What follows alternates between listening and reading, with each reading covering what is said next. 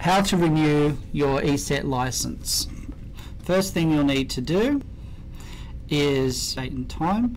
Simply find a little E logo. If you can't find it, do please click on the up icon and then you'll find the, the letter E. E is for ESET.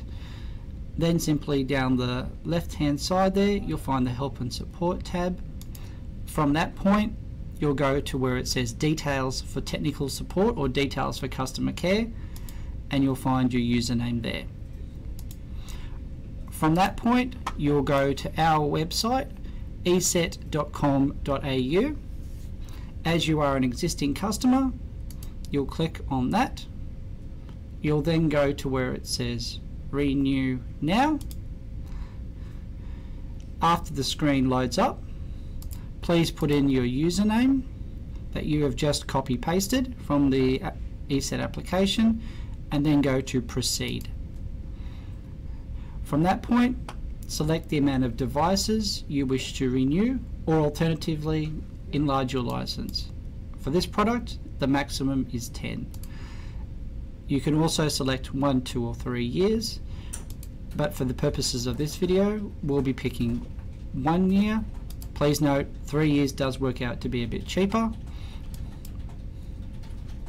You can then select to auto renew or pay or use PayPal if you so choose to.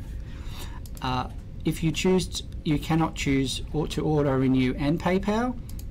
And if you have any questions about auto renew, do please email us at au.support at eset.com, where you'll then need to put in your email address Please note your email is very important for us to be able to communicate with you, so do do it correctly. It's also where we'll be sending your receipt. Next, please select your payment detail. You'll have put in your billing details and then hit continue.